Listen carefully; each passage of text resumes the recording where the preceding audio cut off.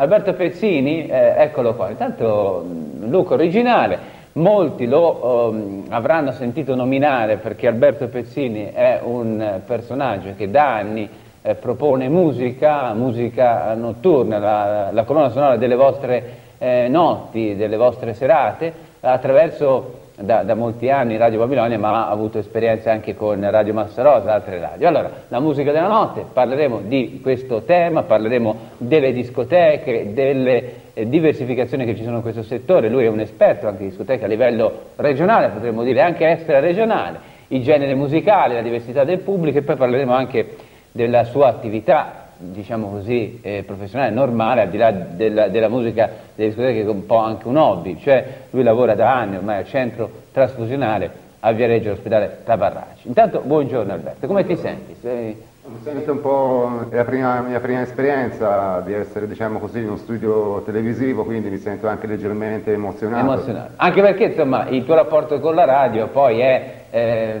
in gran parte collegato insomma, alla proposta di musica, non sei un DJ tradizionale, un intrattenitore, proponi grande, buona musica, quella musica anche che vai a scovare nel, nei tanti archivi eh, discografici. Diciamo da quanti anni? Eh, dall'85, nell'85 ho iniziato con Radio Massa Rosa, poi nella fine dell'86 sono passato a Radio Babilone che a quei tempi tra l'altro era anche la radio numero uno della provincia di Lucca. E eh vabbè, anche adesso, anche a livello italiano per quanto riguarda il Festival di Sanremo naturalmente che non lascia tracce, una musica forse usa e getta, troppo. Musica di consumo secondo me, questa qui se così la possiamo definire, cioè musica fatta per eh, guadagnare dei soldi, crea diciamo così, l'immagine del personaggio che secondo me è una cosa effimera che dura un anno o due massimo, poi spariranno nel nulla. Invece la, la tua musica è proprio una musica eh, da utilizzare eh, per essere anche eh, più pronti e eh, preparati ad affrontare varie situazioni, ecco, in macchina, la sera, in, in, casa, cioè uno strumento a favore di un ascolto insomma, anche attivo, perché poi la musica ha anche questo ruolo, insomma, una buona musica, quella che, quella che, che proponi. Così un brano mm, che potremmo segnalare, un, un gruppo che potremmo segnalare, magari ovviamente che non fa parte di quelli molto conosciuti, per cui sarebbe anche facile. Quali sono i tuoi riferimenti in questo senso? Ma riferimenti, ho già detto prima, sono più che altro la musica britannica, gruppi di quei periodi che, possono, che sono spariti nel nulla, per esempio, possono essere i Lotus Eaters, che fecero un disco bellissimo, tipo The First Speech of You, che poi sono scomparsi nel nulla, l'Industry, chi è che non si ricorda la bellissima State of the Nation per esempio, e poi altri gruppi più conosciuti ma anche quelli scomparsi, ad esempio gli Spandau Ballet, pure i Duran Duran che esistono tuttora anche se non hanno più diciamo così, i livelli di vendita di quel periodo. Invece a livello musicale italiano cosa, cosa possiamo segnalare per quanto riguarda appunto le, le, tue preferenze? Poi la musica come altri settori ovviamente italiano, è un CS, fatto personale. CSA sono gli ex CCCP, Ecco, qui consideriamo, diciamo, per coloro che non sono molto addentri alla musica, CSI, uno magari dice ma chi sono, chi non sono? Pensate che sono il gruppo che nonostante non abbiano ultimamente mai partecipato a trasmissioni televisive, né ne abbiano parlato i giornali normali, non dico quelli specializzati che se ne sono occupati,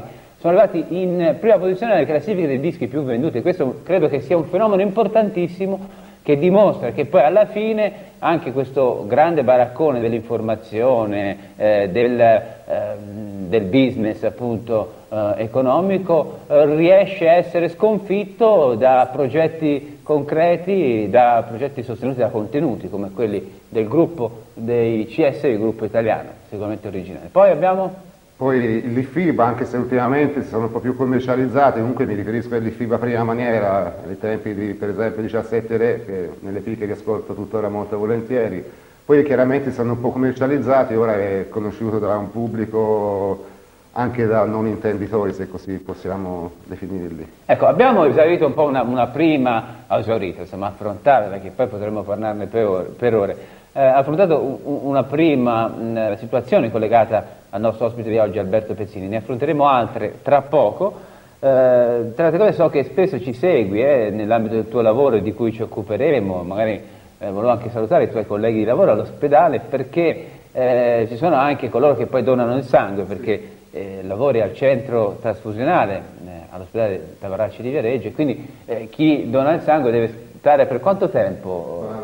Donazione di sangue normale sono circa 6-7 minuti, poi c'è la donazione del plasma che dura circa una mezz'oretta. E quindi quando stanno facendo queste cose che devono rimanere immobili, i donatori, i donatori oh, um, vengono intrattenuti, se così si può dire, anche, anche dalla nostra trasmissione. Salutiamo uh, tutti coloro che in questo momento appunto ci seguono e auguriamo a loro una buona giornata, anzi li ringraziamo perché poi donare il sangue donare il plasma è un fatto estremamente importante. Sì, un atto di solidarietà verso il prossimo, un atto di solidarietà e generosità verso il prossimo perché chiunque può avere bisogno di sangue. Specialmente in periodi come questi. E di questo appunto ce ne occuperemo tra poco. Volevo dare qualche notizia a livello locale.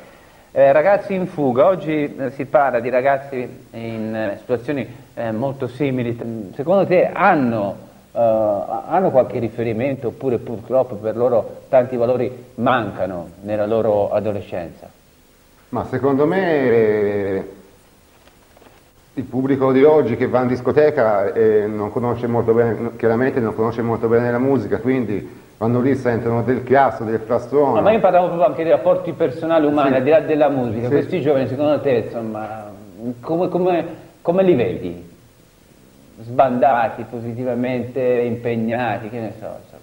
Ma che non hanno diciamo così un ideale fisso. E quindi insomma poi soffrono anche di... di... Mi racconto la televisione, mi registro film, ho anche Telepiù fra l'altro, mi registro film migliori che mi interessano, poi me li vedo magari o di sabato pomeriggio, delle volte domenica pomeriggio, qualche rara sera che non esco insomma, mi gabba rilassarmi ogni tanto guardandomi. Però film altre trasmissioni, no? Non è che, che, che tu segua molto no, eh, i, i palinsesti televisivi? Sinceramente no. Ecco, bravo, questa credo che sia una, una qualità da parte, da parte tua. Da Il parte poco tempo che ho a disposizione di vedere la televisione mi va a vedere qualche film. Eh, genere? Ma genere dal drammatico al thriller, eh, insomma ci sono vari... Variegato, genere sì. variegato. Ecco, un'altra presa di coscienza maggiore rispetto a prima, c'è una maggiore donazione oppure come cioè, vanno le cose? Le donazioni più o meno è sempre, ogni anno di solito in, in crescita, no? E anche se il fabbisogno di sangue non è mai sufficiente a ricoprire il bisogno per il paziente, se così possiamo dire. Comunque siamo fra uno dei centri trasfusionali che lavoriamo di più della Toscana. Quello di Viareggio, ma Viareggio intende la Versilia? Sì. Ecco.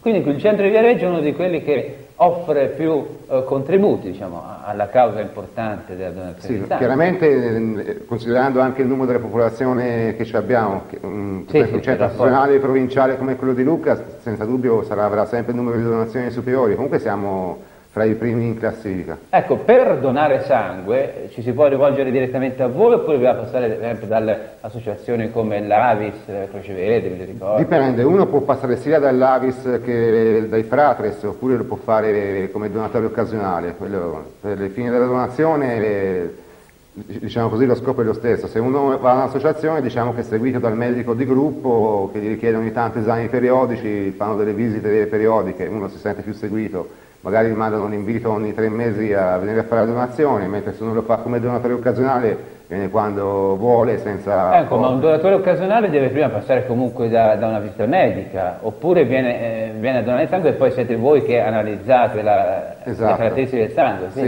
sì. Facciamo gli esami di legge che sono gli esami sull'epatite, il BC, sull'HIV e poi sulla VDRL. Ecco, a proposito dell'HIV, eh, il tema insomma che, che, salta agli occhi, anche se ricordiamo che la donazione di sangue non è collegata soltanto all'HIV, ma ci sono tante altre esigenze importanti eh, che eh, spero spingono eh, sempre più persone a donare appunto il sangue.